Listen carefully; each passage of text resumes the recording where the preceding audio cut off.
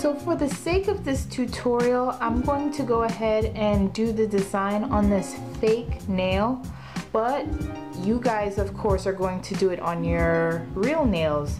Um, my nails aren't cleaned off, I still have some nail polish here and there, but you want to make sure that you start off with freshly groomed nails. So you want to make sure that you file your nails and make sure you cut your fingernails and then, you know, make sure that they're nice and groomed and ready to start. But I'm going to do this design on this fake nail right here.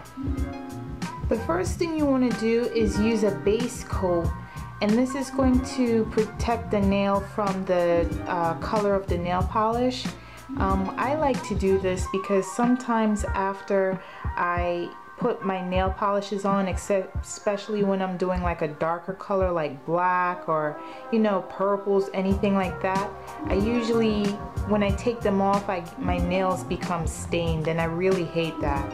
So to protect that prevent that from happening I go ahead and I do a base coat.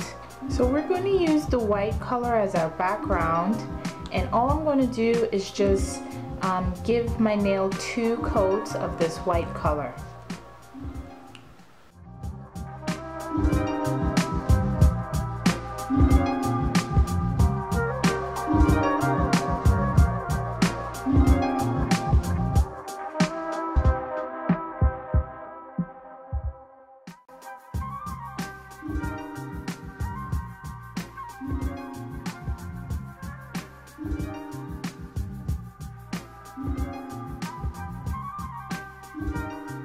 So I have one skinnier brush and one flatter brush like this.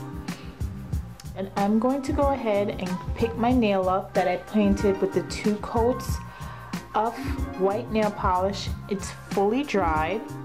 And I'm going to go ahead and pick some of that black color up on my brush. And I'm going to make a dot right in the middle of my nail. Just like that. Don't overthink it, you guys. It's just as simple as making a dot in the middle of the nail. Now I'm going to continue and to go ahead and draw my design. So it's a windmill design. So what I'm going to do, let me get a better grip on this. I'm going to go ahead and just start making some curves all around the nail.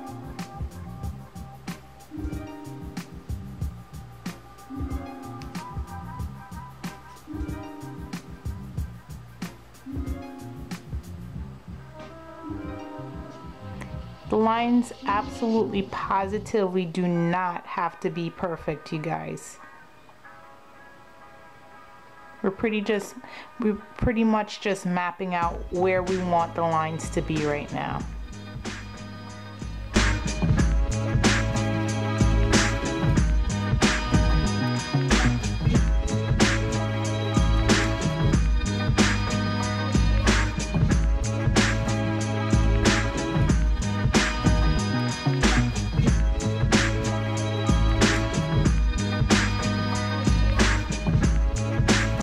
I'm going to go back with my, um, my next brush that has more of a straight tip.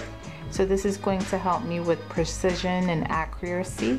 And I'm going to go back into that paint and make these lines thicker and also clean them up as well.